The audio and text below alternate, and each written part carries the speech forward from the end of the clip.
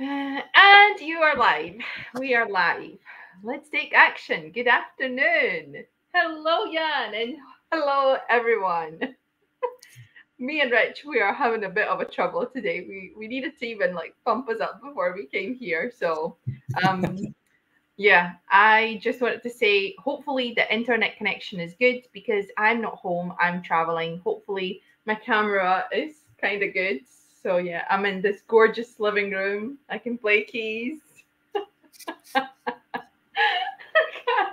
um, but yeah, I hope you guys are all doing good. Could you please let us know that you can hear us, you can see us, so we know that everything is working well. Let me actually, I'm gonna go and check this myself. I'm sure it'll be fine. It's normally pretty good. It's normally pretty good. You've stole my living room this time. Yeah. And normally Yeah. you give me a hard time about the piano in the background. Now I get it to get to do it to you, which is good. Ah, your little Katie. Hello, Anna. This is Katie. Katie is um, my daughter's friend. Everybody's watching us, Rich.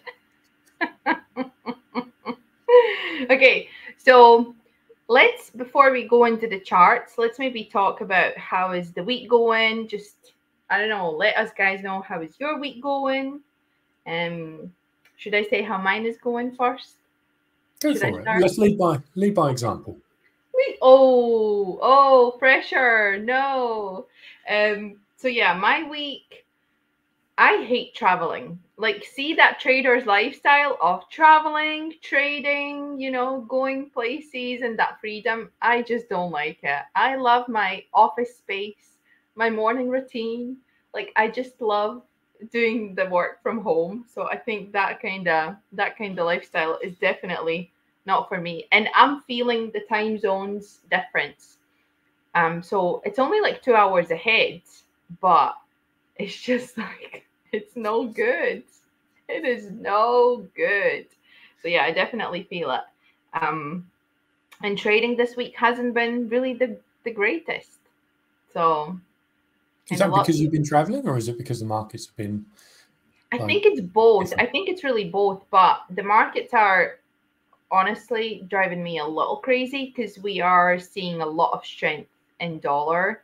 Um, and it is kind of, yeah, I was trying to catch the bullish run, but there's no bullish run to catch. so, so yeah, I'm I'm kind of in that situation where um yeah, and it's like I wanted to go into sell opportunity, like I saw it, but the market never gave me that entry. So it's just, yeah, it is what it is. So, but yeah, this You- week for me, not the last best. week. Like last week, you even said like you took no losing trades last week. Huh, yeah, like, I did. There's a there's a there's a losing trade coming. I know it. And then this week is like pow, like literally just nosedives, selling pressure, and um, yeah, it's difficult, right? It is, but I mean, look, it's it's just um kind of transparency because I'm going to do the weekly review and I'm going to post my weekly review on my Telegram group because I want the people like to see not like no, not necessarily like the numbers, but it's just Mhm. like how I process things when I do the weekly review and um and just show a little bit transparency how I deal with my emotions when I go through some losses where I take the losses and and still like altogether i think i managed my risk pretty well. So i can't say that i went you know crazy bananas and i completely messed up my my risk and everything. So no no no. Um it's just like i would say dealing emotionally just a little bit sore because you know last week was great. Great trades great execution no emotions. And this week a little emotional maybe too emotional, you know, like because the losses really, yeah, it is what it is. So Yeah, but I you're traveling. really- Like you're traveling. Like you can't expect to be like your best self when you're not Mm. sleeping in your own bed, when you're not Yeah. eating the normal food you'd normally eat, like walks in the countryside. Everything's different. So that's got to Mm. have an effect on your trading. Like you've got to take a little bit of pressure off you Sure, and say, you know, I'm not in the same place. yeah, I Mm, think. Yeah, even coffee doesn't taste the same. Um, it's like, um, I would say, yeah, it's definitely harder than it looks because everyone is like, you know, when when we talk about trading, is that time freedom, you can do whatever and that. But honestly, I don't think I will ever want to travel and trade. If I would not trade at all this week, it would be good actually decision. So see next time when I'm going to travel, I'm not going to trade, and then I'll be able to compare. But obviously, we do need to take the like honestly, we need to look at the markets. Like you said, mm-hmm. the markets are kind of rubbish. You know, it's it's a little bit tough at the moment, at least for myself. So yeah, we need to take that and kind of when we do the analysis of our, you know, everything, cons and pros, you know, traveling and trading, then we need to take uh, in consideration the market as well. And at the moment, it's just not marketing. yeah, hasn't stopped me though. I'm uh, I'm still having a go at trying to long the pound. This is this my analysis makes sense to me. We're in a big daily zone, waiting for the candle close. Get this beautiful little pin bar, and I'm like, mm-hmm. yeah, this is this. I'm just I'm stuck to that bias of there's got to be some profit taking on a Friday. We've done nothing this whole week. If we go to the four hour, look at the mm-hmm. strength of the dollar. It's just done like pretty much the entire week. It's just done nothing but sell yeah. off, and we've yeah. dropped from highs to lows. We've dropped like two percent this is massive. Like this is such a big change from um, like GBP to USD. So I've taken a couple of losses on the way down. They were good trades. I'll take them again um, because I know like over a hundred trades I'd do all right at them. But mm-hmm. at the moment, is this selling pressure ever going to end? I don't know. I keep waiting for this big, like we talked about it before, but this big like V-shaped recovery all of a sudden. But maybe we get a small pullback today. Yeah, Maybe we something. have got news. Um, mm. Do we still have news today? Because I haven't mm-hmm. checked the calendar. Do we still have mm-hmm. something? Yeah, in an hour and a half we got red. Um, let me double check this. In an hour and a half, it should be. Yeah, it's the prelim consumer sentiment on the dollar, mm. red news event. So hour and a half, we might see some, and that might be the catalyst that actually pushes the mm. charts back up to to like create a little bit of dollar weakness. Well, look at that. There's someone who's also energy long, so that's good. Bump it up. good, yeah, good luck to us. Yeah. Okay, let's let's put the trades on, guys. If we just, you know, 10 lots each, maybe we might move the market then. I'm, I'm kidding, I'm kidding. Um, but wait, what time it is? What time it is where you are at? Um, 125. 125, yeah. So half past three in here. Um, hmm. Yeah, because it's Friday, you know, mm-hmm. it's Friday. Although, no, you know what I'm thinking about? Because you're saying the people will take profit, the sellers will, will take mm-hmm. profit. If I'm not right, like wrong, there's the thing called "Thank God It's Friday." Is it? Right. It's like an ICT thing, isn't it? Like T. I think it is. It is because like, and I think the idea is if market has been like bullish or bearish, then on Friday it's kind of recovering something a little bit. So I, I haven't like I don't know really the concept of that, but I know that there's thing called thank God it's Friday. So maybe it's right. not doing any recovering at the moment. Hmm. not not at the moment. Okay. Well, Patrick says that um, there might be a pullback on DXY, so that's a good thing then, because if there's a pullback on DXY, that means um, that wow. yeah it needs wow, a pullback yeah. right yeah that's Would that is, nice. I mean, I never thought we'd see pound back in 124s again. Like when we were 127, yeah. 128, we were so like bullish. We were we were like the pound was just going up. If we look at like the daily chart, you know, once mm-hmm. we started breaking up above these highs, break and close, it just looked yeah. like this was going to 130. And then the market just melted downwards. And so I like looking at these daily zones and, and working out mm-hmm. like maybe the market is pushing to like this daily zone. Yeah. And so at the moment we can see that we're using this daily zone here. If we were using this daily zone right here, to me, we've already had a lot of reactions around this price. Mm-hmm. So now this has failed. I'm now looking at this daily zone, but I can see that this is only a small pullback because it makes sense that the market could now do that. Makes sense that the market could pull back and go lower because this is a this is a nice mm-hmm. daily zone up here now. Like, look at all these yeah. these areas. So that that's kind of my thoughts. I'm I'm looking for a small move back up, and yeah, hmm. we're still bearish on the higher time frame though. Yeah. You know what? Yesterday when I journaled, so I where's my journal? I don't know where to put it. But anyhow, so because I would I would be even willing to read it out. But what I did is see how when we are seeing the daily levels, the higher time frame time frame levels, and at the moment, let's say we are trying to buy pound.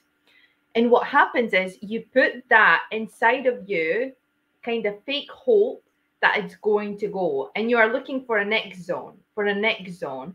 So I put down that I always need to remember that market is like 50 50. So it's like you can either buy or you can sell, just like a 50 50 chance in whatever you do, right? So, and for myself, is like I do see that pound is going to go bullish because actually I had swing set up on. I took partials and then it hit my stop loss. So basically, mm-hmm. I ended in a little minus because of the swaps and all that, which is fine. But the thing is, again, because for myself, I'm like, yeah, but I think the pound is having a zone in there, the zone lower, the zone lower. So I'm like looking, I'm like, I could buy from here, from here, from here. And every single time I'm going to buy, I'm just going to maybe fail. So today I actually said, I'm not going to do that. I'm not going to try to buy. And the thing is, and then I say to my journal, but what if tomorrow, well, because I journaled yesterday. So what if today is the day when actual pullback happens and I'm going to miss it because I said, oh, I'm just going to give up. So, um, yeah, I think we're when I mean trading is tough. Okay, trading is not easy, and I will never be, you know, saying in here, hey, trading is so easy. You can make so much money, and you know, it's like the easiest thing in the world. World, no.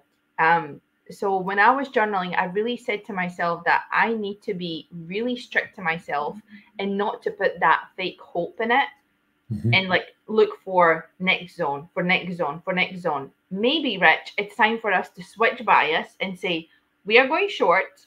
Where can we sell it? No. okay, so all this pet talk for nothing. No, I did. Um, yeah, yeah. Just trade price action. Just trade what you see and mm. put your stop loss in a place where you're wrong. That's that's yeah. it. And then and you don't marry your bias. If the market says, "Hey, here's a mm-hmm. good place to sell from," just sell. Put your yeah. stop in a place where you're wrong. And if the market says here's a good place to buy, just buy. And then, you know, go and cry on a pillow if you're wrong too many times. But if you're yeah. if you're right, the I mean, this is why we backtest because we should be able to draw up areas in the market and then create frameworks where we can mm-hmm. take trades. And it's your back test and your data that tells you whether you're doing something right. And then we do that in real time and we hope that we make a little bit more than we lose. Yeah. Um, this week's been rough. It's been a hard week, but it's still been a profitable week because I've managed my risk. But the saving grace this week has been has been the DAX. It has been just well, mm. it's just been this. It's just been trading the DAX. Um, yeah, I was did selling this. Stop in there. Did you hit stop, or did you manage to get that long? No, sorry. This was um, if I click on this and just do that. That was the entry. Entry was on this candle close. Oh, I see. I see. Um, nice. But you know, I didn't. I didn't target this. I was. I was out. You know, I took just a small move on the upside on this, mm-hmm. um, and then same again today. Just a small move on the downside up here. You you just look at higher time frames. We were streaming this morning actually, and I had a, an entry there, and we were we were literally watching this miss by a point this morning, and this where that was my trade, and I was like, don't get emotional, just just trade limits. Like Anna market enters, I don't. I put orders in the market. Like I'll put an order down here and go, right, if price comes down here, then it's going to mm-hmm. automatically buy for me. And then mm-hmm. hopefully it'll me up. You see my bias because like hopefully it'll go up. But the yeah. Anna's like sitting there waiting to market order. So sometimes this happens. Sometimes the market comes really close and misses my entry. And it just Did it miss your entry today then? Yeah, it missed it by a point. I would be pulling my hair out, Rich. Just delete that. I don't want to see it. It's terrible. It's horrible. It makes me emotional. I'm gonna cry. I was uh, I was looking at this and I was like, look, I think the market is going to pull back into this price point, and if it's not this one, then it's going to be this one here, okay. and we can see this is where the market went. So I went with this higher level. I was like, look, all this selling pressure came in here. I want to have my entry just in front of it, and the market. I think my stop was up here, and TP was a little lower, and the market just missed it. I'm like, oh, okay, I was close, but no cigar mm. on this occasion.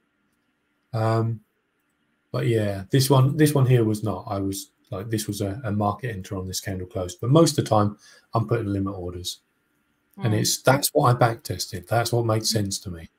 yeah, uh, that's good.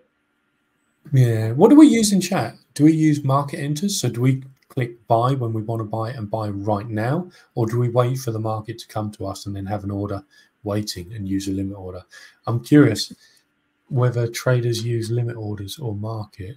Limit's I better. share- I can share Rich like by like why I trade mar- market order because I have tried and I have actually not only tried, I have backtested a lot, also tried trading with the limit orders. Mhm. And just simply because of the reason like this that you just showed happening, my emotions went over the roof. I can't handle the thing when it doesn't tap in and then it just goes. So look at that. Basically, that would be me. I would be definitely punching my stress bill off if I missed that by a bit. um, so yeah, and my data just shows that it's always for me better to wait for confirmation because if you use limit order, you don't really wait for confirmation. It hits your zone, it hits your price, and you're in, Mhm. or you you miss it, right? So for myself, I just always wait for closure of the candle. It just my comfort blanket. You know, it's like it just gives me that extra confidence that you know Yeah. I am actually there's more. Let's say instead of 50 50 it's 70 30 Mhm. you know so just So what do you think of this trade then? If this trade like wait for this candle close here, what do you think of this trade? um Do you so like this? that is 15 minute chart but that's fine That's 15 minute chart. Okay, so 15 minute chart. So I could see that there's like a double bottom thing because you can see one leg, bullish closure, and then another bullish closure. Yeah, so I would be in after this bullish closure. And Mhm. then for my stops, it would really depend. But the thing is, Rich, um, GU, unfortunately, I'm bearish now on GU. But where would you sell from? Well, that's the thing. Where would I sell from? I'm scared to share my screen just in case if it's just gonna completely collapse the internet. Um, like so, like I said, I was buying GU, GBP USD, as oh, it's not even like searching for it. Uh, duh, duh, duh. Do you want to try and share screen in case it works? Or Yeah, I will try. I will try and share the screen. Sorry, guys, if you will lose me, that is going to be terrible. You'll just be stuck with me. Yeah, you'll be stuck with Rich. Um. Okay. So, this is this is going to be quite ugly screen. I'm going to show you. Well, you already see it, right? Mhm. Okay. Maybe, so maybe that's better. Yeah. So basically, this was the zone. If it's broken, then um, because that's where my stop was, and I said if I am wrong, then that means I'm wrong. So now I need to focus where the where we can go. So this is the next zone. So basically, there is like a little. I don't know how to how to say. My mom is calling. Wait. Um, It's okay. You can take it. You can take the call on stream. That's fine. Yeah, sure, Rich. Um, wait, I'm put it just on gonna your stop loudspeaker. Fabian. I'm gonna say, Ted, mamma sa napasa minha pacificas. This is so good. I love it. Um, so, mom, she completely switched me off. Like, I can't even think now. So, anyhow, back to charts. Focus, focus. Um, so this was my zone where I would, I would say, like, yeah, I think I could buy from here. Mhm. But the thing is, this was this was the zone where I said I'm going to be wrong if the price goes below this, because then we are, you know, we- we are moving lower. So now I see, unfortunately, look at that. There's zone in here, another in here. This is just like nonsense. So to see pound go back to 1.22 would be terrible. That's yeah. yeah. That's that's so much dollar strength. I can't imagine it, but I'll trade what I see. If the market says Yeah. go short, there's so many prices that if price pulls back now, I would start shorting. Absolutely. I've got a zone to trade long from. If Yeah. this fails, I would short from the similar zone. interesting where you got your zone from because I can't see. So I see the zone in here. Mhm. That's like I've done analysis before. So I would say price would go lower and then we could kind of pull back, or we are going to pull back and then I could sell from two five, Mm-hmm. something like that. That- Does that make sense? Mm-hmm. Yeah, the zone comes from here on the four hour. It's this wick, and then Mm, what I like is this area here as well. So like this, this to me is like an inverse head and shoulders, left shoulder, head, break of structure, and then I'd be looking for price to come and trade close to this line, and I'm anywhere sort of in this this wick. I like to take about seventy percent of this wick because this is where all the buyers got involved, and if we took this Yeah. zone back, we could say that this is where the buyers were once, mhm. this is where the buyers were twice, and this is the zone that I would like to see buyers again. So when I move to Yep. the right, it would make sense that the market could come close to this black line here, and we can see the market has come close, and then that's what gave me this. And I call this a bullish candle, even though it's ever so slightly bearish. I still call that a bullish pin bar because the wick to the Okay. bottom is much much lower than the wick at the sorry much much higher than the Much wick at the larger. top. Yeah. Yeah. Um, but if the market wants to go down, then just go Mm. down. Look at that. Ra- Raphael says, hopefully I'm not liquidity. oh, I think we all have been liquidity at some point, huh? yeah. But hopefully it's not this time.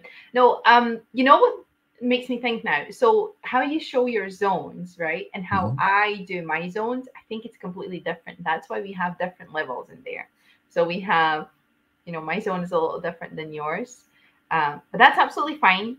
Um, and this is my edge, Rich. I can proudly talk about my edge because my edge comes from the way I see my zones. Um, and yeah, at the moment, GU is not looking good. It's not looking good for buys. Um, could this be last shot for the buyers to say, you know, this is it? So we either go bullish from here or this is it. We are switching our bias to bearish because looking at the charts, I say I need to be bearish now because Mhm. two five, the round number, you know, the psychological level, it's been broken, and it goes. And and you know what? Sometimes it can be broken as like liquidity, as like a sweep, or just like a little fake out. We are thirty pips lower now, so I don't think it's a fake out No. we are No. going down so we just need to we need to accept what it is and um so yeah i think um today's friday i'm really looking forward to see how the weekly will close um and then for the next week i will decide what's going to happen if i'm going to be trying to buy it and see the strength in in pound or i'm going to switch yeah exactly my thoughts rich that arrow is anna's magic arrow that is my magic arrow. so yeah, that's that that would be something that I would do.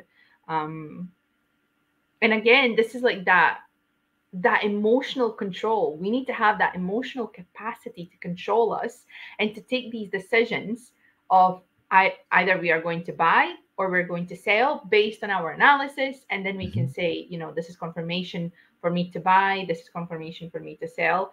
So yeah, I think next week is going to be really interesting week and i hope it's going to be better for me because i'm going to be back home um, back to my routine. Um, and yeah you know what rich i think i'm going to share this.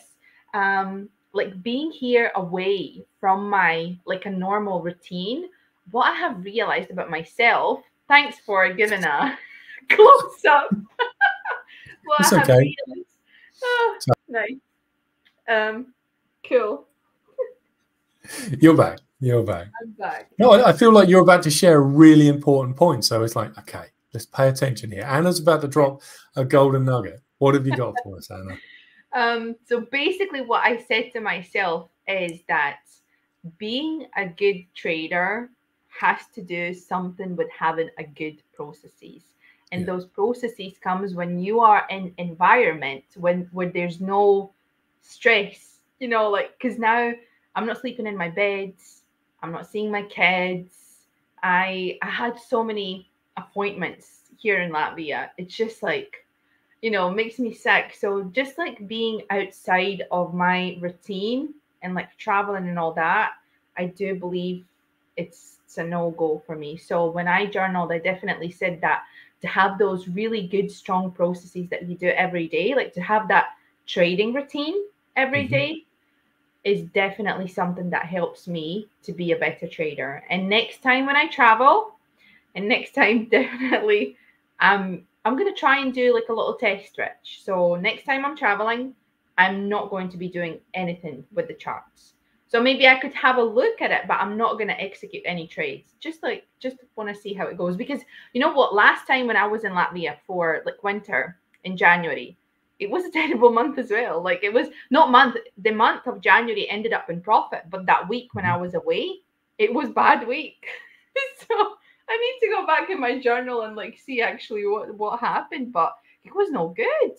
Mm. So yeah, Because in an ideal world, there should be no emotions in trading, but we're very emotional beings. Like in an ideal world, we just look at this, go to the daily, go, I've got a zone here. My zone is based on my back testing, where I Mhm. mark up all these these lovely areas where you see these big wicks, and I just put Yeah. zones on them, and I just look for buying interest in these zones. This is heavily back tested. There's nothing that's emotional about this. I have a zone.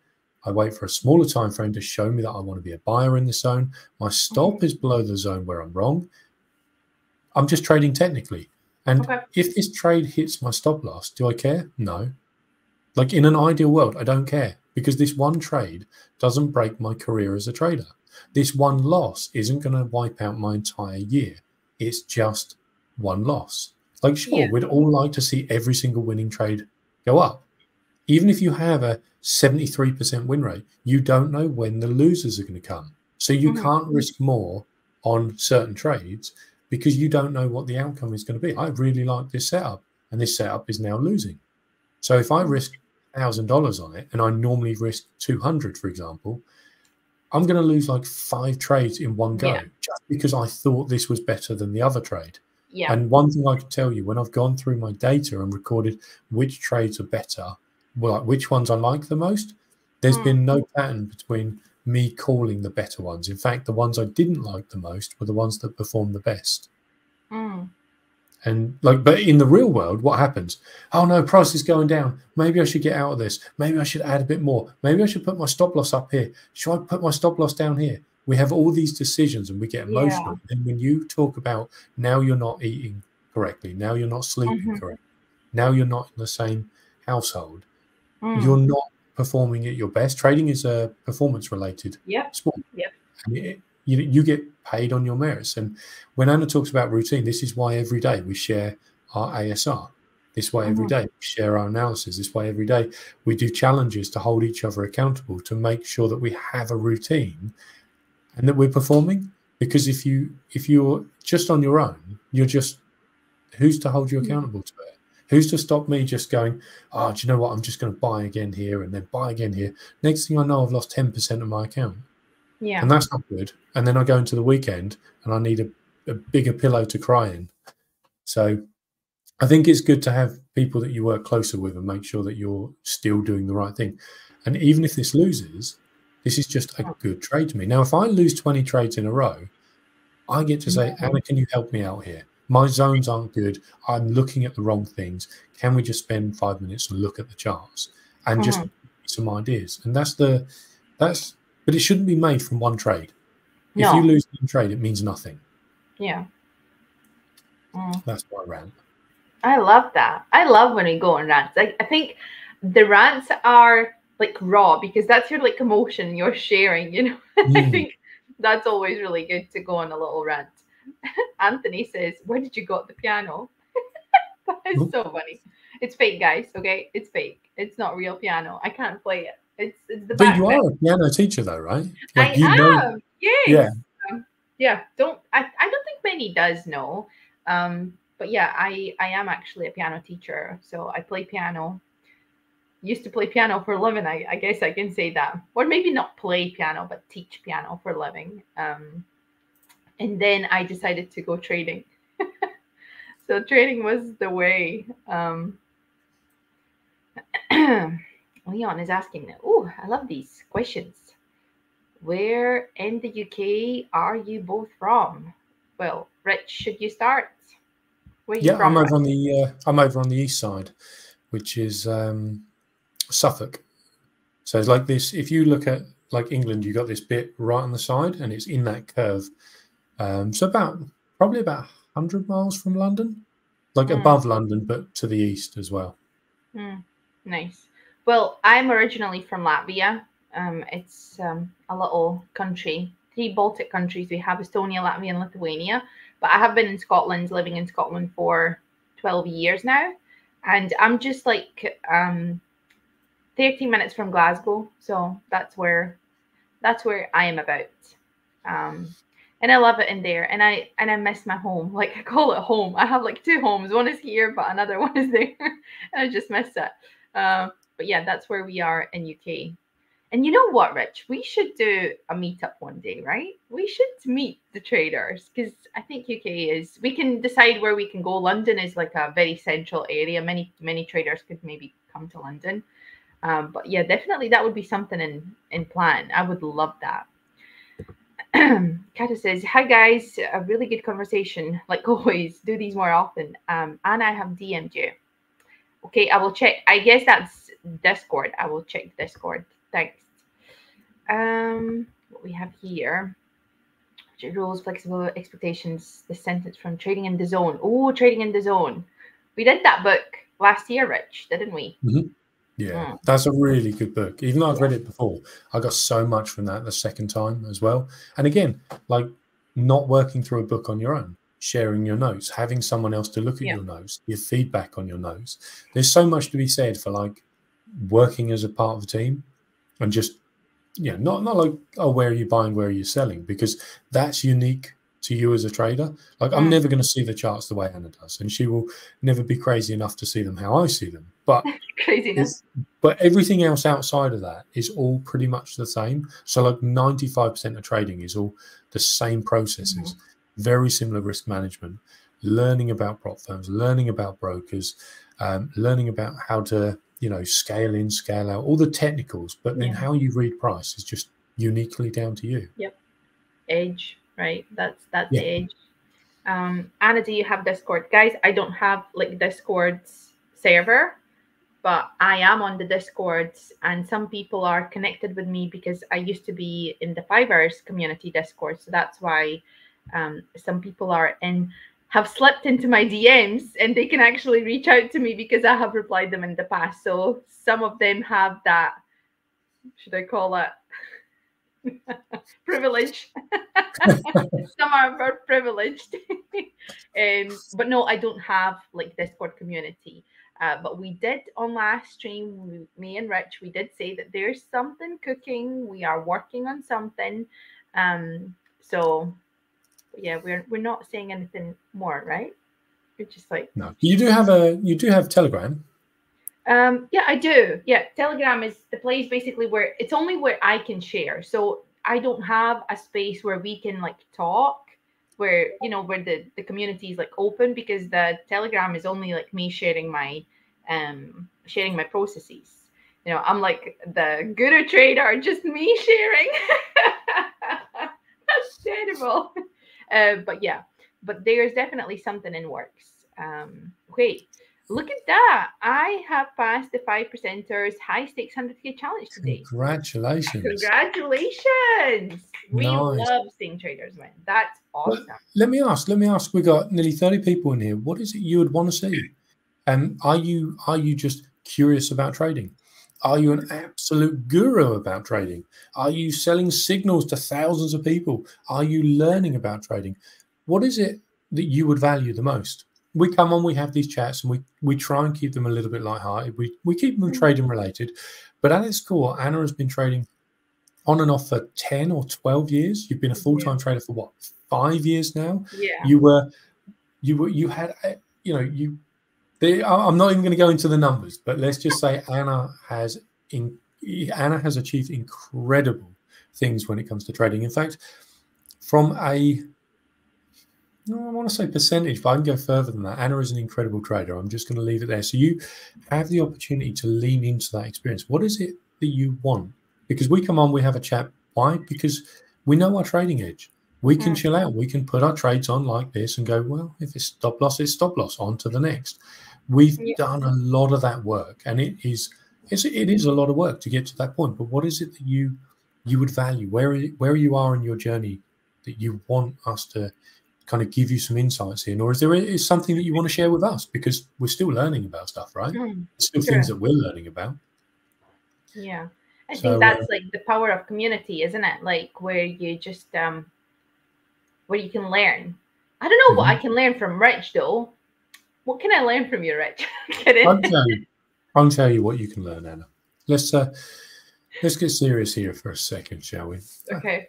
You can learn how to plank. That's what you can learn.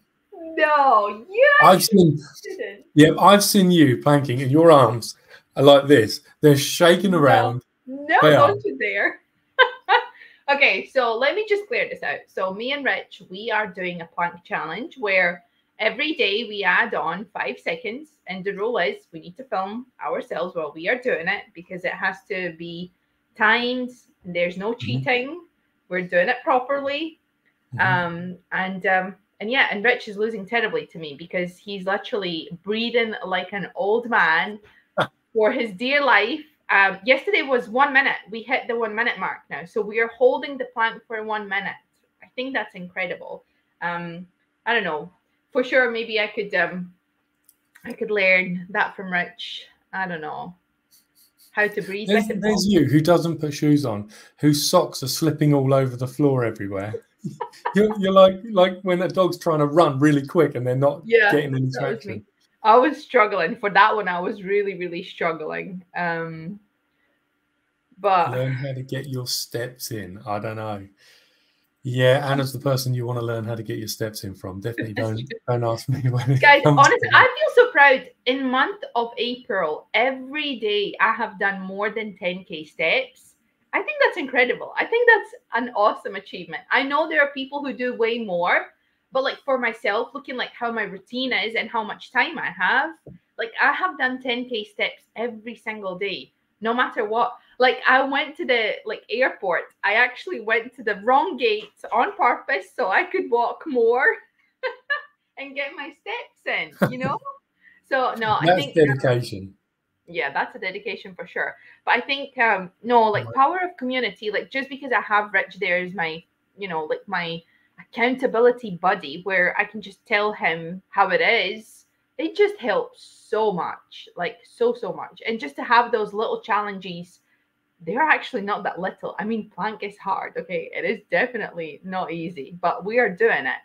And by the way guys we have a bet on potentially some of us will be will be paying someone a big fat coffee voucher. I think we should just PayPal each other that money. I, I think you will PayPal me. I think you will lose. so in this in this playing challenge, every day that goes by, we add another pound to Mhm. the coffee voucher. Yep. If nobody gives up this year, Anna will be planking every single day for 27 minutes straight. That's a 270 pound coffee voucher if That's you do not quit. So we're on are we on what day 11 today? Um, yeah, I think today is day eleven. Um, because we keep it Hmm. like uh, me and Rich, we do have Discord. Um, so we keep it in um like separate server, server, which is And you should quit. Like this is this is your opportunity where it will only cost you 11 pound voucher. You should quit right now. This is your opportunity. This is me doing you as, a solid as your accountability buddy to say Mhm. I'm looking out for you. You should No. you should genuinely step aside on this one. No, not a chance. So we are going to be on day 12 today. And yesterday I didn't even shake. Like I had full ab control because I had shoes on. So I didn't slide or anything like that. It was just awesome. You guys, I feel so, so much power like in my body. I feel I can just easily beat Rich, like with no bother. But I do know once we hit like four minutes, it's gonna be a struggle for me for sure. There's been So- days where like 40 seconds has felt like 10 minutes. It's, it's not easy. I don't know if anyone in, in in here has done like a plank challenge where you do Hmm. like a press up position and you just have to hold it. yeah. Um, because you don't warm up when you do it. So next thing you know, you get your phone and you start recording, and then you just go, "Oh, this is easy," and then you forget to breathe for five seconds or 10 and then everything goes out. And Anna's always like, Rich, why are you still talking? Stop talking. You should be focusing on your breathing. Yeah, on your breathing. Yeah. Oh, but no. it's those little challenges. No, what did you say? It was Plank Diaries because he's doing the plank and he's like, well, today went great. You know, market has been rubbish. So I'm just going to use yeah. this time. I was like, what are you doing? Who on earth does the plank? And like just tells how they are feeling. Like you just focus, okay? You try and control your body, and that's what you do. But not maybe that's where I'm going wrong. I, I yeah. review my day whilst I'm doing a plank, and I'll be like, mm. "Yeah, took a stop loss today, but traded well, so I'm happy with that." And the next thing I know, my arms are shaking around like this, and my voice yeah. is going all wavy as well. Oh my goodness, I love these little challenges. I think we should also like do more like a challenge, maybe like um what I'm doing now is like daily ASR, which I do anyways, then daily mm-hmm. forecasts.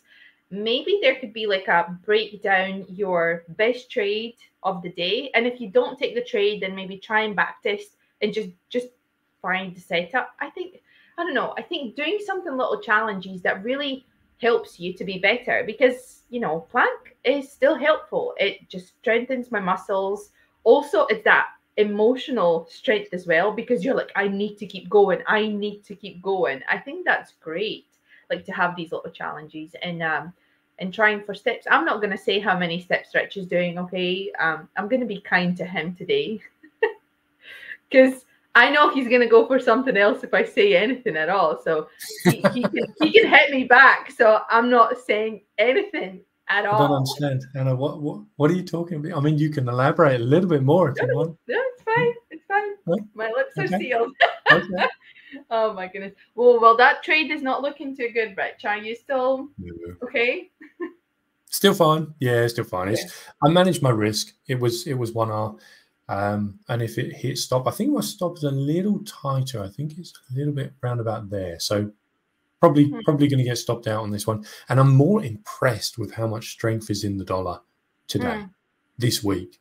It's like, wow, 124.50. Good on you. Like I'm I'm surprised by this. Yeah. I placed my best analysis. I was patient. I waited for it. I did everything that I could have done. And I can't control what the market does. And this is the thing with profitable traders. Like, doesn't mean to say you win every trade. I've done a video about this and I was talking about expectations. I thought a profitable trader just wins all the time. I thought that's the whole point of being profitable. You're yeah. working towards getting profitable. When you when you know what to do in the market, why would you lose? Because you know. So therefore you should win every trade. And that's the problem. I was trying to win every single trade. And yeah. so what I learned was a profitable trader might win two and then lose one. Mm-hmm. They might win four and then lose three. That's my understanding of a profitable trader. I win a little bit more than I lose.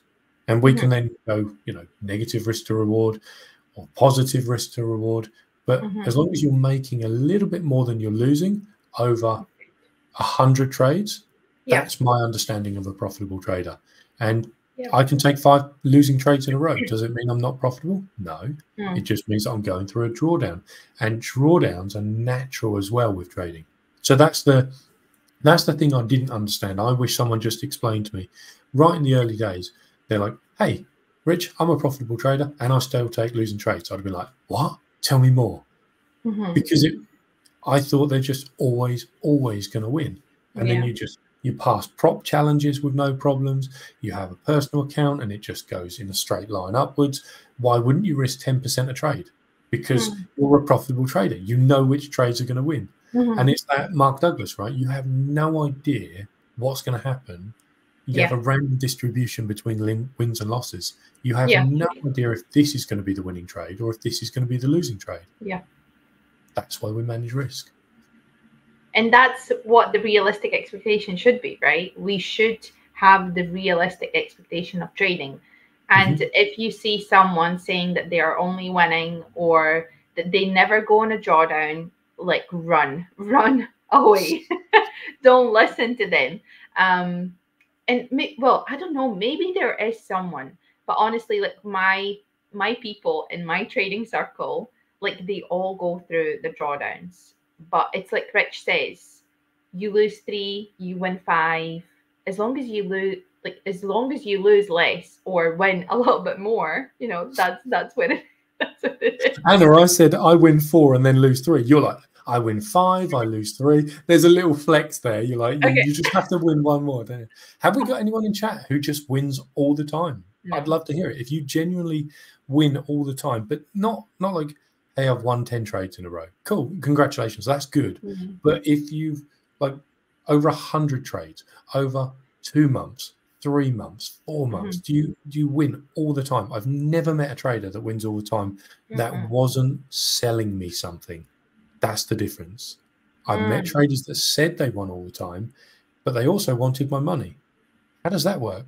Because if you win all the time, Anna, if you win all the time, why do you keep trying to get me to buy you coffee vouchers? It doesn't make sense. So, in my mind, people who say they win all the time, I'd run. Like Anna said, I would run from them. Yeah. Genuinely, I would run from them. They're not going to help you get and be a better trader. They're going to charge you a bunch of money, mm-hmm. and then they're going to just spend that money on promoting the idea that they're highly profitable. Good yeah. traders lose, and they lose well. And you can watch this live on this stream. When this hits stop loss, I'm going to lose well because I'm if, a good trader. If this hits stop loss, not when, okay? okay. Okay. I was managing my expectations there, but if this hits stop loss, um, but yeah, yeah, it's just that's that's kind oh, of my thing. Look at that. Raphael said that he just hit the lost on GU long. Well, Rich has just a bit wider stop loss, but it is what it is. We have, hey Anna, just watched one of your videos about five percenters programs. Well, thank you for watching my old videos. I really appreciate it. Hopefully, it was useful.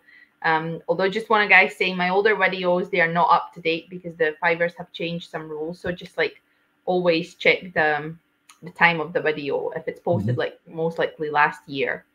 Um, so Mm, Fast takes off is the worst entry fee, but is that program really risky? Let's have a look.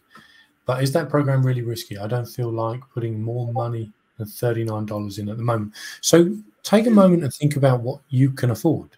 If, yeah. if you have $3,000 in the bank, can you afford to lose $39? And then if you lost a whole account, you're only losing 1% of what you have. This is what I think about when I'm buying accounts with prop firms. Not not just five percenters, but any prop firm. I'm going to go and think about how long they've been, been, been in business, and then I'm going to work out can I afford to buy an account? If I have $1,000 and I buy a $500 account, I'm going to be stressing every time I lose a trade on that account because if I lose that account, I've lost 50% of my money. That's yeah. not good risk management to me. So I would I would be advised to, uh, or I myself personally, I would only buy an account that if I lost it, I it's not going to affect my life, if that makes sense. And mm-hmm. most people cannot afford to keep buying five hundred dollar accounts and losing them. Yet mm-hmm. traders still buy accounts that are bigger. You know why? Because the greed we think about how much we can make. Yeah. So it's really important to. I had a I had a little um, 5k account, and I got it funded. I got six payouts on it, made about 600 pounds out of it, and the account cost me 30 pounds to buy. And mm. I proved my concept, and now I trade with bigger accounts because I proved it with only 30 pounds risk to me.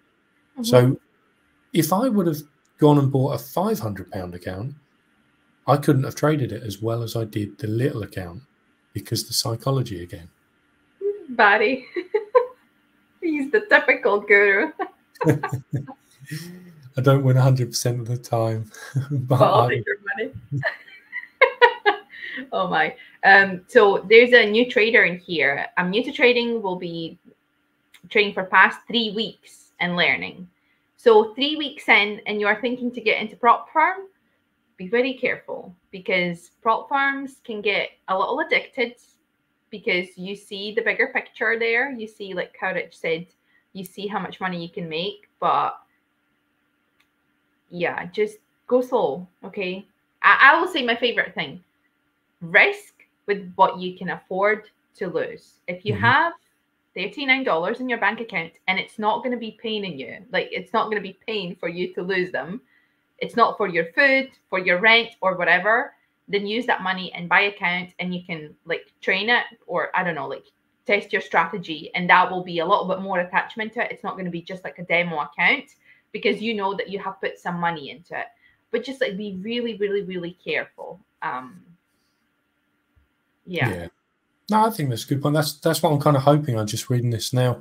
Um if i can buy the lowest entry then make a couple of hundred profit then maybe i could reinvest and buy a boot camp yeah. this so this is the cool thing about trading if you're good your track record should support that and then over time yeah. that money should slowly build and then you can reinvest it into slightly bigger accounts and then you get to a point where you're buying the big accounts uh-huh. and you can afford to lose them but you have the confidence that you know why you're buying the account um, and i think we we spoke about this when uh, like a 2000% return on an account these these accounts can be an incredible good return mm-hmm. if you know what you're doing. But the failure rate is still over what ninety percent. Yeah, I would yeah. I, th- I, think there was. I think it was even a. Um, it was said that I think less than two percent of traders make their first payout. Um, that was said in the past. I think yeah. by a company that, whether you it's believe that or not, whether you believe it or not, but less than two percent, and you've got to ask yourself, yeah. don't let these stats scare you. But ask yourself why are less than 2% getting paid? If that's true, mm-hmm. why is less than 2% getting paid? And what can you do to put mm. yourself in the minority? Because Anna's got loads of advice on what she does that puts her in that category. And then I've got the things that I do that puts me in that mm. category. The people that are in those categories, they're not in there by mistake. They're in there because they show up and they yeah. put in a little bit of work each day. And the work they do is mm. is clever, it's well measured, it's well executed, yeah. and it helps them grow. And they do this over time. No great oak tree grows to the size it is in just three months.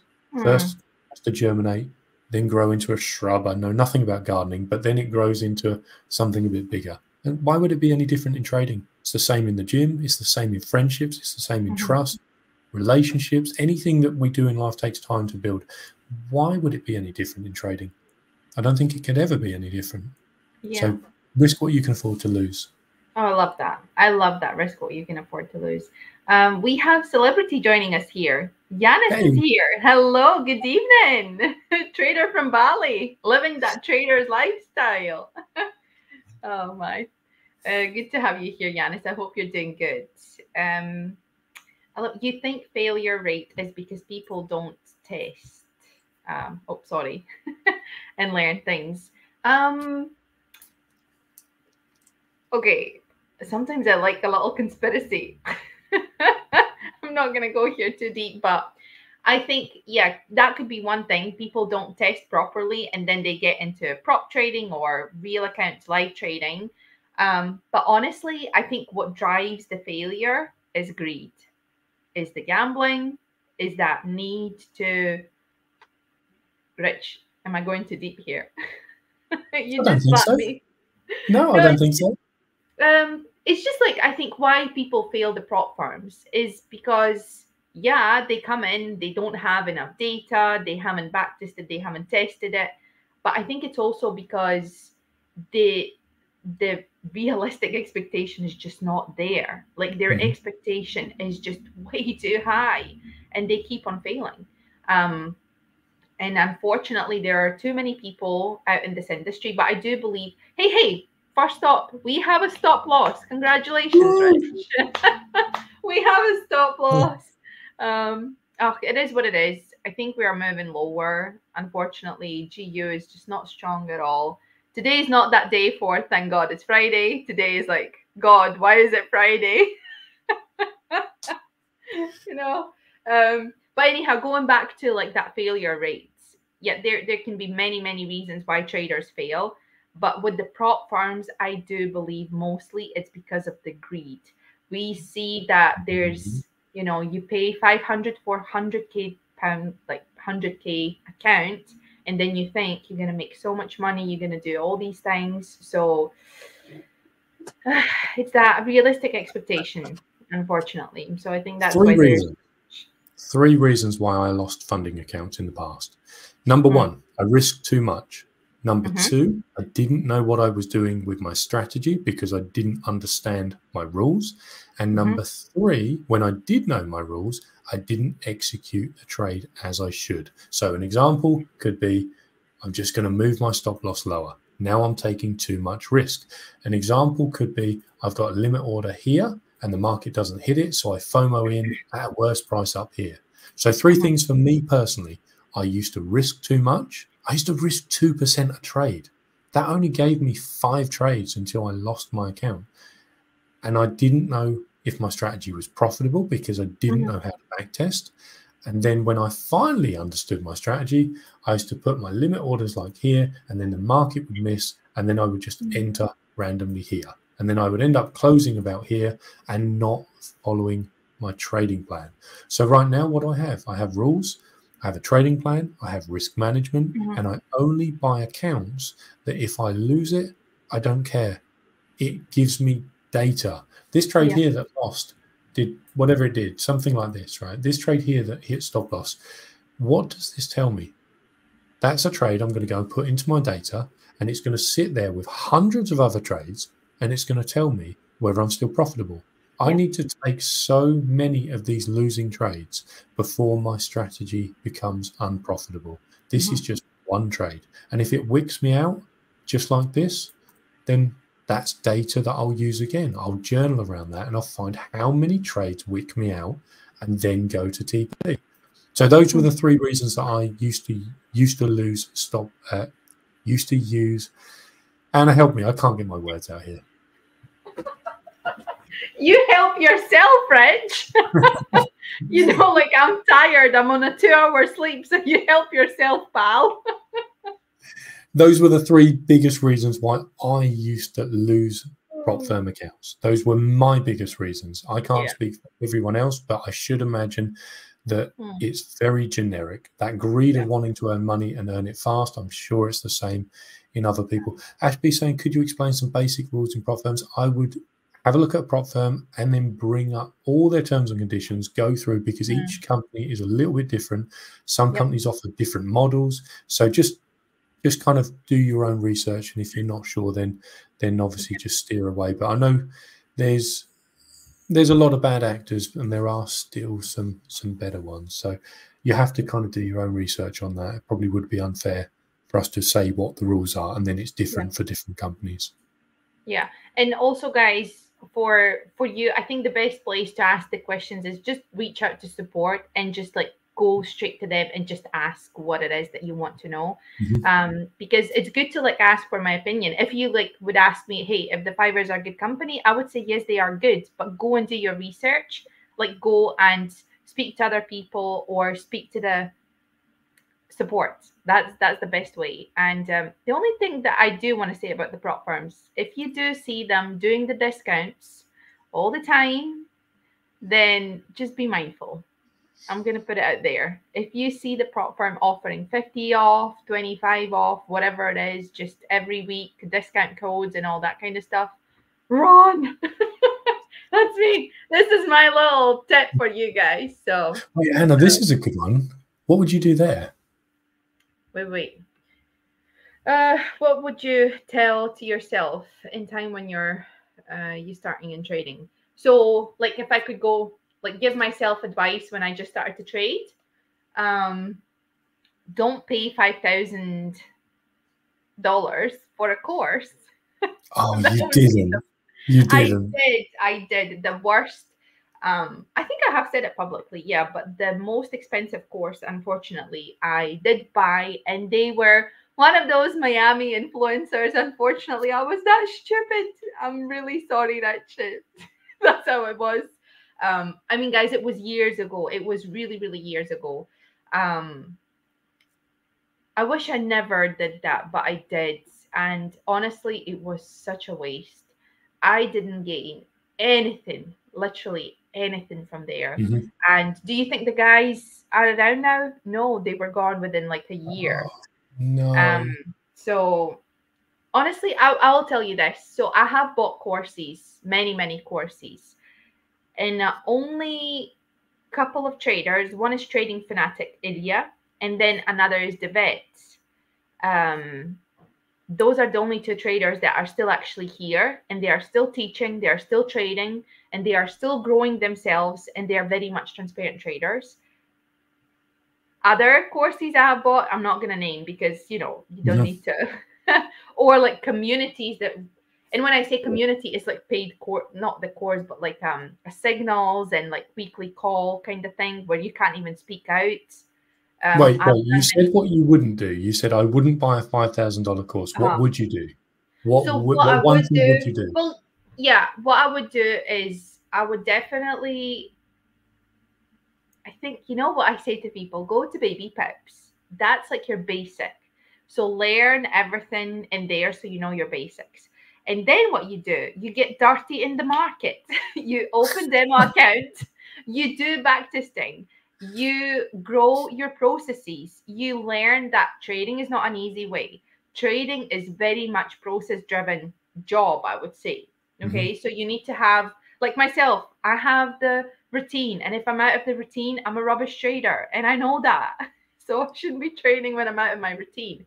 So what I would do, baby pips, go get yourself demo account, start the spreadsheet, start backtesting, simple setups. Mm-hmm. Go on a like higher time frame first because the lower time frame you go, the harder it is. Keep it yeah. stupid simple. Do like three confirmations, candle closure, pattern, uh, maybe something to the left. Price has been there a couple of times, something like that. Like very simple, and start to just backtest and trade demo. And um, I would say it has to be done six months at least. Honestly, like I see these very, wait, very. Wait, do you mean six months of data on the chart, or you need to no, spend? actually six months of trading. I honestly, Rich, it sometimes bothers me when someone new in the trading they come to me. I've been trading for two months, and I already bought like whatever prop firm, or I have deposited thousand whatever in my mm-hmm. broker. Mm-hmm. And I was like, what on earth are you doing? Like, what are you doing? Do you have enough data to show you that you can actually do that? Like, can you actually grow emotional capacity to control your emotions, your risk, and everything within that short amount of the time? I think traders are like doctors. We need a long time to get better because you know what? Like, I feel like I always have felt embarrassed, Rich, because it took me five years to actually get to that profitability. Okay. Mm-hmm. It took me lots of like failure and lots of learning and lots of like ups and downs. Right. And I always felt like, oh, it's so embarrassing because I see there's like traders who are saying they're trading for like six months and they already like making six figures. How is that even possible? And I'm like thinking, am I stupid or something? Why it took me longer and all that? But then we each go through you know the the learning stages like different but i don't think that in three months you can actually you have that emotional capacity. Yeah you might know all the patterns and candles and charts and all that but emotional capacity to actually trade mm-hmm. to manage risk to be portfolio manager i don't know. I honestly don't know. Um okay i've got a question for you then. So okay. it took me two years to stop losing money not not to make money, two years just to stop yeah. losing. If a normal person, like not like like super clever, just a normal person came up to you right now and said, "Spill mm. the beans. I'm a really hard worker. How long, how short do you think it would take for that person to stop losing money and maybe mm. start making a little bit? How many yeah. days, weeks, months, or how many years under under like really good instruction. And they're a good student like they're gonna work. Mm-hmm. well this is a tough question because like we are all different you know? Like for me it took a long time but I, honestly i really struggle with that kind of like to believe someone who's in trading for three months and they are saying they already like they know it all. I mean like how? How? Because there's so much to learn about like how do you know it all? Um so I don't know. I think we just need to take the time. And, you know, how you gain experience is through time. You know, yeah. if you start something new, you know, you start to learn piano. Will you be able to learn piano in one week? I don't think so because there are so many things to learn about. The same thing with trading. So it's like just take it slow, step by step, slowly learn and give yourself time. Like, yeah. and don't think, you know, six months is enough. So, yeah, I always say um, the more experience you have, the better it is. Mm-hmm. Um, yeah, and on YouTube, there's so many influencers selling the idea that trading is easy peasy. Then why do they need your money? If trading for them is so so easy, why do mm. they need your money? And and just to try and sell you mm-hmm. signals and, and and lie to you about how oh it's because like you know I make so much money I want to help other people make the mm. same money. It's because trading is not easy. Trading is a skill, yeah. it is a craft, it is a profession, it is a career. And yeah. it takes time to learn it, it takes time to refine it, it takes time to master it. I have not mastered my trading. I am yeah. certainly better than I was in the past, but I still work on it every day. I still read psychology books, I mm-hmm. still work on myself, I still seek out accountability, I still mm-hmm. learn new risk models. I'm still back testing random stuff in the market to see if there's things I notice that I'm not using at the moment. So mm. trading is, is just about constantly putting in a little bit of work and trying to get better yeah. than you were yesterday. So if they say it's easy, they've probably got an agenda. Mm. You've got two profitable traders right here, over 10 years of experience full time, and both of us are saying it took a bit of work to get there. Yeah. That's a bit. A bit. a bit of work. Um, yeah, but you know what? Like speaking about also, like I have a mentor and I don't mind paying her my money. Like when it comes to like mentoring me, and she's a trader. She's been trading for a long time. Like I don't mind paying money to the people who are actually like helping me. Okay, so I just want to say, it just finding the right ones is really hard. Or like, look at that, Hannah's here. she completely threw me off. and this time she actually didn't come as a hidden person. She comes from she comes from real profile. Um so yeah, thanks Hannah for being here. Um yeah, I think if you, you know, like I'm in Hannah's Life Club, you know, and that's a paid community as well. And I don't mind paying that money, whatever amount, if I can get you know something out of it that helps me to be a better trader. But if you are getting a course like i did years ago paid $5000 and because the traders were showing all that luxury lifestyle they will teach me in three weeks how to trade and all that kind of stuff it's just stupid. I was stupid you know. I'm clever now because i have that experience. But i would not you know i would not do it yeah, I agree. I think I only ever bought two courses. One I know is definitely not around, and I think the other one mm. isn't as well. I stopped watching the content when that, you know, that person moved out of that space. So mm-hmm. I, I think most people that that kind of do that stuff, it's a it's a temporary thing. So I'm I'm more interested in like long term, always mm-hmm. building longer term relationships, being in like a longer term vision. Um, even like recently, yeah. I was asked if I had three million pounds, would I would I just quit trading? Um, this was asked of me recently. Would you just quit with three million and go? I said no. I said because I have a bigger vision in my life with trading. Trading is more than just clicking buy and sell, making just a mm-hmm. bit of money. Um, what am I going to do sitting on a beach with three million pound? It's like how lazy and how slow am I going to become mentally as well? Trading yeah. keeps me sharp. It keeps me humble. I mean, trading definitely keeps me humble. Look, you know, we go through losses. Trading keeps me working on myself. And just, yeah. I don't, I did trading in the beginning because I thought it's an easy way to earn money. Then I mm. fell in love with the journey and I fell in love with the changes that I started to notice in myself. I started to become more patient, a little bit more disciplined. Mm-hmm. I, I, had a little bit more um, awareness of myself. I work on myself so, so mm-hmm. much more. Uh, my money management gone through the roof. There's so many things that trading does for me as a byproduct that I believe mm-hmm. genuinely makes me a better me. There's no amount of money that I would give that up for because yeah. there's a bigger vision of why I do it. And and the bigger vision is is outside myself. I don't want traders to go through that misery mm-hmm. of spending years losing money. I can mm-hmm. tell you I have been on my knees and cried at the amount of money I have lost in trading in that first two years when I took my biggest loss. Mm-hmm. I didn't manage my risk. I was emotionally compromised and I didn't have anyone to just say, here's a hand. Let me just let me just help you from this position. Yeah. Let me let me explain a couple of basic things and then we can work through this together. And and that's a huge, huge vision in my life is I, I want to be that um, in a community, which is why we've spoke about doing something bigger than just ourselves. Um, mm-hmm. Sorry, Yeah. rant. I know we said we wouldn't we wouldn't go into it, but We love the dance. Look at that. you're Hannah. talking It's so true. It's because that's the point, right? It's like we need the life gains as well. Um, um, yeah, Barry said there. Trouble is when you start, you think everyone is. This is the word I struggle to. I always say kind of gen, genuine. Is it the right way to say it, Rich? Yeah. Um, and believe that they are all making money until you get a few years in, and then you realize it's too late. Um, yeah. Yeah. Ugh, trading is fun, you guys.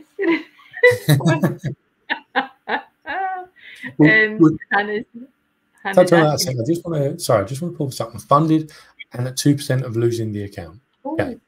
Do you lose your skills if you lose that account? That's the first question I would ask myself. You got funded because you did Mm. something right. If you lose the account, that's information that you can look at and say, Am I doing something wrong? Was I too aggressive? Did I risk too much? Did I not trade my strategy? You're saying that you Mhm. don't feel confident in your strategy. What you've got is 2%. You're the boss of your trading. Anna says this all the time you decide how much risk you use on that account. If you've got Yeah. 2% left, you could risk 0.01 and you could give yourself hundreds of lives and you could play around in that account to learn to be Mhm. confident in your strategy, to build a small buffer, to start increasing your risk. You decide how you move forward with that account. You must Mhm. accept full ownership that you're in the position you are because of the decisions you make, which means moving forward, you will be in the position you want to be because of the decisions you choose to make and stick to. So don't Yep. lose the account without ever gaining insights and growing from it. Otherwise, it's a wasted lesson. Yeah, it, it is true. You know what? Also, I can share like a little story when I used to do when I would be like so close of losing the account of the prop firm. I would be like, is it worth it for me to try and get it out back to the break even? Like to mm-hmm. spend all that time, pay for the copy trader or whatever. Is it going to be worth it? Or I should just like go crazy bananas, risk 1%, take the next two setups, you know? Like there are so many options because that's like the the truth is if that account was bought with the last money that you can afford to lose obviously then you need to try to come up with the plan how you can recover if you have used the money and it's not hurting you kind of thing then you can go like i said go bananas risk more. This is terrible. I'm actually saying for people to risk more rich. What's happening to me? Um but the idea is just like because the funded accounts investment is 500 or whatever you have paid for it right? Uh-huh. so it's like it's not like you're gonna lose like your whole account. Like for my personal life funds i would never give you advice to risk more or to go bananas or do something crazy. No because we have the rules that we need to trade within when it comes to the prop firms right? So it's just your decision to make and to see how how is it going to affect you. If you lose that account what's going to happen next? What's going to be your next step? You're Mhm. gonna um, take another account same mistakes or you're gonna learn from it? What you're gonna do? You're gonna try to recover? You're gonna try to risk it for a biscuit? Like so many options. So many options there. Um i actually love what jan said in there. Greed and not taking stop loss has been a killer for me in the past. And to so many other traders trust Mhm. me when i say this. Um i mean even from my experience. My worst mistake rich probably was the moving stop loss what you showed before. Like moving lower lower low. that that was my worst worst enemy. And i've journaled so much around it. Like i was even like putting the notes sticky notes i remember all over my laptop. I was still trading with laptop at that time and i would be like i'm not to move my stop loss. I'm not to move my stop loss. I'm not to move my stop loss. It's like almost like see the affirmation? Every morning i would start i'm a good mom I am a good trader. And I would be like, I Yeah. am not going to move my stop loss. I am not going to. You had so many sticky notes on your computer, you couldn't even see to place the trade. no, maybe not that many, but you know, you got you got the point. So basically, like, Yeah. yeah, my um my little sticky notes were just, you know, reminding me like, you know, all that. But I like this question that Hannah brings up. Do you believe in work life balance? I believe in it. I'm in ter- I'm terribly, terribly bad at it. And I know our words, we have to be careful with what we say, but genuinely, mm-hmm. this is something that I really want to see an uptick in. I want to see improvement in work life balance. I work too much. Anna knows this about me. I'm, yeah. I, I'm always kind of at the desk doing work related stuff and i would love to get that work life balance right yeah. i'm working on getting it right but it always seems it's elusive and i just can't quite catch it but if you've got any thoughts on it i'd love to hear it or uh, anna work life balance what is the secret the, the secret pill to work life balance um i think you know one of my superpowers because you know I'm superhuman, right? One of my superpowers has always been a time management. I have always known how to manage my time really well because of like being mom of four, a trader, then I used to work as well, like having so many commitments. But I was able to manage them really, really nicely. But then at some points, you know, it got in my way. So I have definitely learned the lesson where now I will say that I will never choose my work over my family. So my family will go first no matter what. And I just, I'm blessed that I can be in that space. You know, I can say, I'm going to drop whatever and I'm going to focus on my family. I can do that. And I'm just in a really good position. And, you know, I can do that. But it's the time management. That's what we need to, we need to learn how to manage our time better um, to gain that work and life balance. Like I am rich accountability buddy and i know that he's working really hard now and still like i love seeing him taking the mental breaks remember how i messaged you remember to take a break today yeah. rich you know just yeah. like reminding him uh, but then i know he dug the hole for himself because he didn't do the work the time management was wrong. Basically, I'm just like, you know, slapping his face right now. It's his fault that he's in this hole right now and he needs to work like 12 hour days. you started so kindly. You were so kind. And then you were like, no, it's his fault. He done this to himself. Well, the, the thing is, like, I need to be open and honest. Like, I know Rich did wrong because he didn't manage his time well. So if you want to have a really good life and work balance, you just need to be really good at managing your time and prioritize. Like, where does your priorities come from? Um, and um, I actually was, um, I think it was, yeah, I said to Hannah that, you know, editing at the moment is not my priority. My priority is to get my family, because my mom is over. I needed to go and do all the doctor appointments. And, and it's just like my health was my priority and it's like how we prioritize things is going to really show that life work balance. Um so yeah time management guys basically. That's what i'm saying. And rich is terrible at it. That's why he's struggling now. But in the future i know he's going to learn the lesson.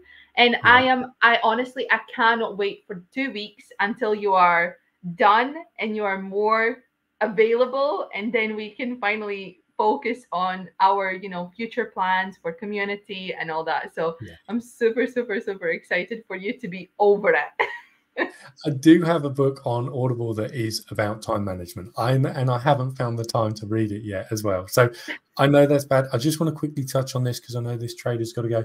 Um, how long does it take to pass the two-step programs? I know you've got to shoot and you really wanted to get this advice. This isn't advice.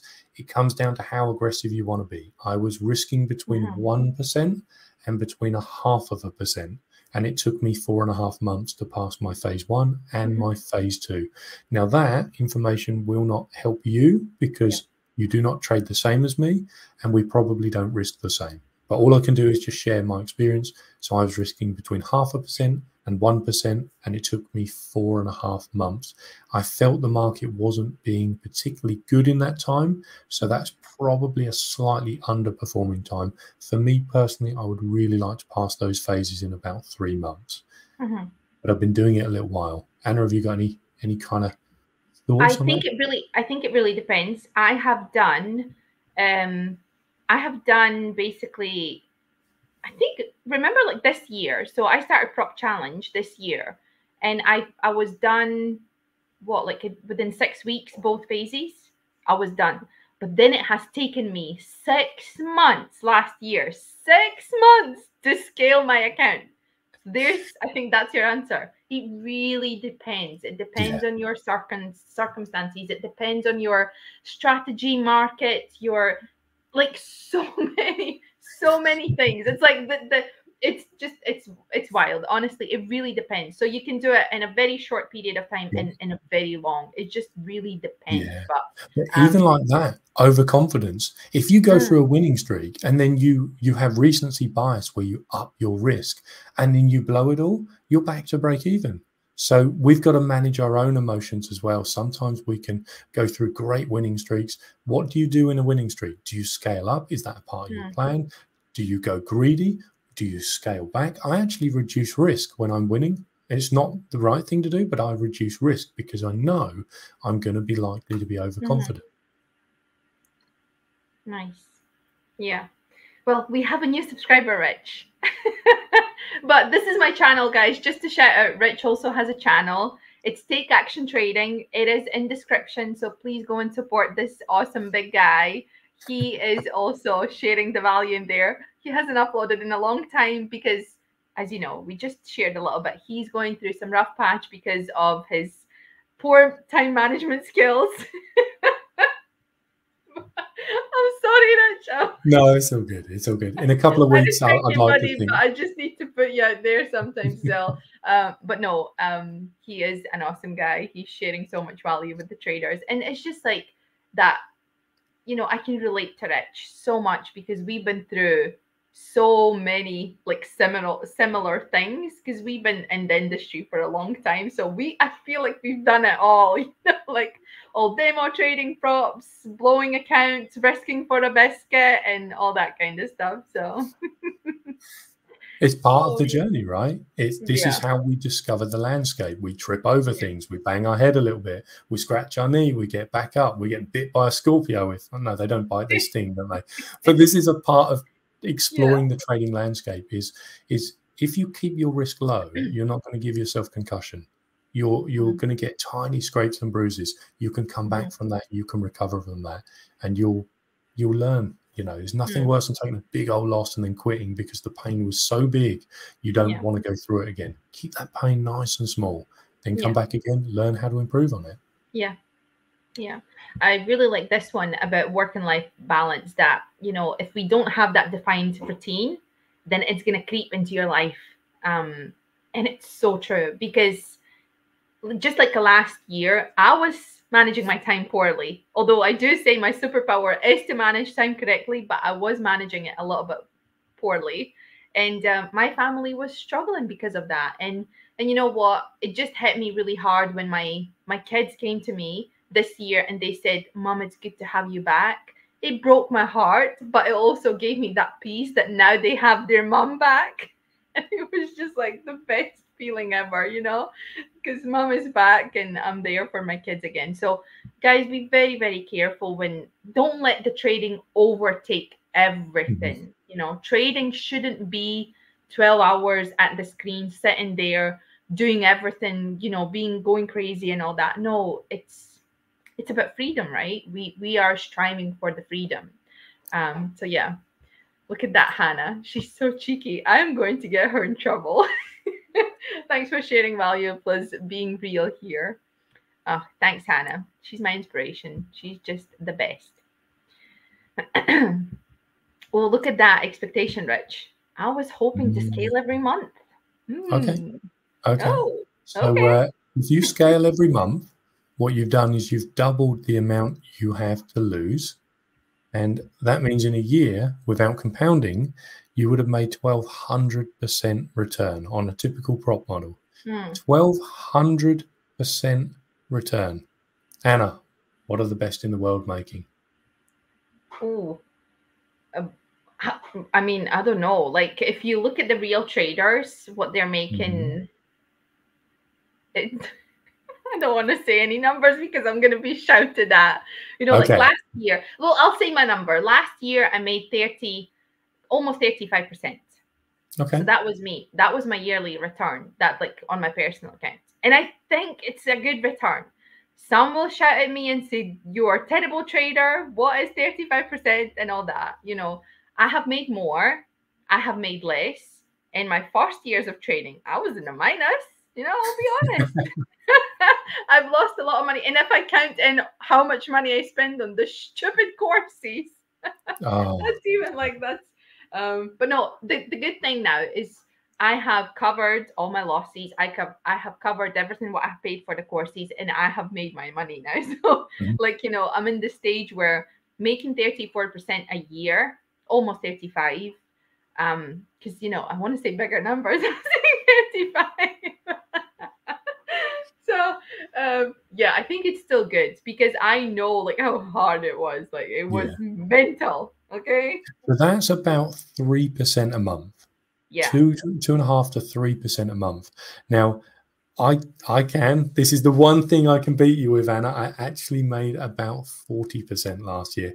But however, however, I will say that my my pot was this big, and Anna's pot was was absolutely. So I I made forty percent of about one pound twenty, and Anna made thirty five percent of uh, probably a bigger pot than that. So it all comes down to how big that account is. If you think you can double it every single month, let your Mm. track record prove to you that you either Mhm. can or you can't. You don't need us to tell you what you can do. What you need is people to share their honest opinion of their experience, and then you measure your Mhm. experience against that. And then after a while, you have this lovely little filter in your mind. And once you get a bit of experience, you can work out who's telling you porcupines and who's telling you their truth. And then Yeah. you use those decisions to position yourself better moving forward. And uh, if you're making 100% a month, then please tell me how, because How? I, um, Me too. I want to know. I want to know as well. Like, I'm happy with two or three percent a month. If I can do two or three percent a month, I will be a bajillionaire in ten years from now. I will I will use all the prop firms. I will scale all the capital. Yeah. I'll build that personal capital, and I will be I'll be making a very very great return to do some incredible and wonderful things with. And I can do that on two to three percent. So that's Mhm. where my expectations are. And now I'm not reaching for the stars and disappointed if I'm only getting 30 foot in the air. Hmm. Yeah. Again, you know how we always go back to these realistic expectations? Isn't that crazy? Like because Yeah. now we know, we know the expectation and like having, you know, scaling every month. Because like if you're trading with The5ers, you can scale your accounts and you need to make 10%. So it's like, is it really realistic to scale every month? no. if you get weak like this, like I am I'm having right now, right? So like a terrible week, um, then definitely you're not going to be scaling. so it's like, yeah. I mean, you can scale. I think my fastest scaling one was last year in June. I literally scaled my account in two weeks. So that was like mental. Um, that was when actually pound was dropping like mad last year, and I was shorting. Wow. Two weeks. Yeah. You scaled in two weeks. Yeah, that was mental. That was crazy. Um, that was just like before the the the live trading event. So Oh, yeah, yeah. No wonder you had a smile on your face when you got to the live trading event. That was the first time I met you. And you were Yeah. you were grinning from ear to ear. You didn't tell me that you scaled in two weeks. yeah, So, yeah. Nice. Hey, look look who's uh look who's joined us in chat. Beko, hello. This is The5ers community manager here. Oh, we have so many celebrities joining us, Rich. I love. Look at the crowd. I love it. Oh, and look at that. We also have Alex in the house. He's also the trader success in The5ers. Look at that. Alexander is here. Good to have you. Um, Jan says you can work at the hedge funds. I think because I made like 34 35% last year, I can work at the hedge funds for sure. Yeah. But I am building my track record. I really want to prove myself that, you know, I can be better trader. Um, and, um, and yeah, and my goal is always to leave prop firms behind and trade personal funds and just be the, be the the boss. boss of my I trading. you were gonna say that. I knew you were gonna say that. This is you, Yeah. this is when you know you spend too much time on calls with Anna. When you Yeah. know that she's going, I'm the boss. I'm the boss of my trading. Anna, I'm conscious we've we've ran a little bit over on this stream. So give our traders, give our audience one thing, one word of advice that you just think will really help them um, with their trading journey. Leave them with that. Mm, lead with that. Well, first, I just want to quickly congratulate um, FX Morpheus for getting shorts on EJ and um, Nice. uh, 100 pips. And now look at that.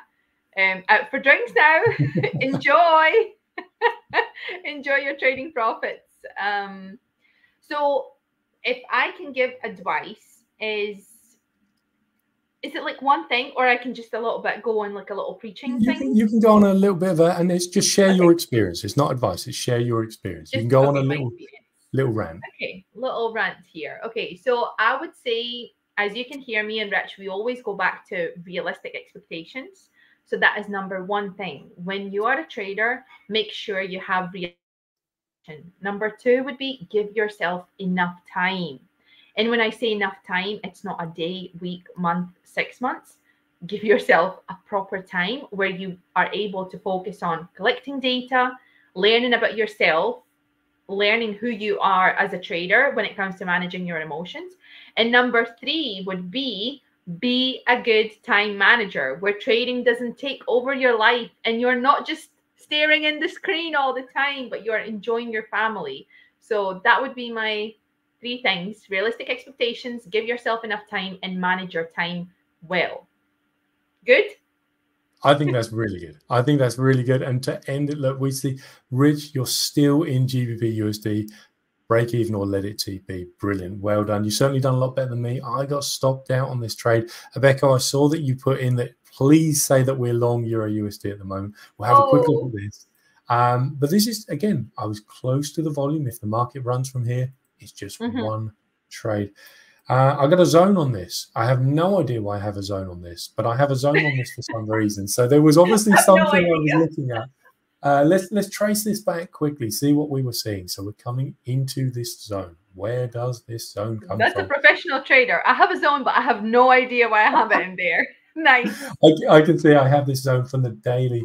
I have Okay. this low here, and it was a big inverse head and shoulders pattern. So we have a left shoulder, we have a beautiful big head, and then it comes all the way up, and it would be looking for an anticipated buy from this level as an almighty zone, which is basically here. But I don't really want to be the trader that is trading like Mhm. this. This is this is a swing trade, right?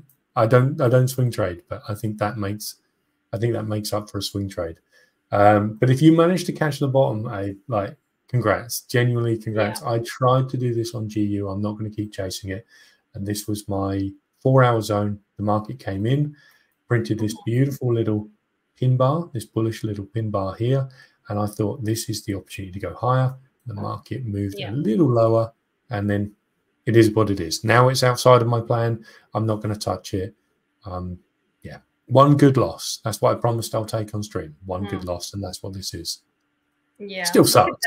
that. Look at that, Beko. Like he's literally talking uh, because there's a reason to long, desperate desperation kicking in, and that's what I said. Like how we draw the zones and we have buy setups on, and then we go to the lower zone, lower zone, and then you're Mhm. desperate. You're thinking, this is the zone it's gonna go. This is the zone. It's like, Abeko, just have a slap, take a loss if you're long, be a man, and don't let desperation to take over.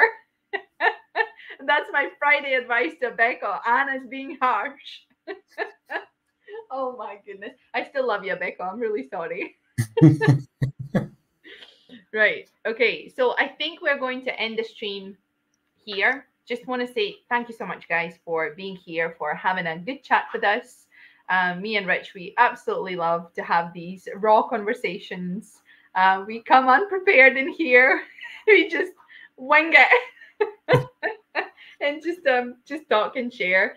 Um, but we are going to be here next week. I'm going to be home, so I'll be able to share more. Definitely, I'll be back to my normality. Like I just need my normality back. I need my my space. My need. I need my treadmill. My fake steps, Rich. Okay, I need my desk. So, but thank you so much, guys. Have a great weekend. Remember to do your daily ASR, your weekly Yeah. ASR. If you're not in my Telegram group, I will put the link in description because it's not there just yet. And you can join my Telegram group and I will share my weekly review with you, just like a process, what I do. Um, and I think this is going to be a good one because this week was emotional damage. so it's going to be a good one, hopefully. Um, so yeah, thanks guys uh, for joining. And I will see you the next week. Right. Brilliant. Yeah, Right. we'll see you next week. Thanks so Take much care, for guys. Right. Yes. Bye.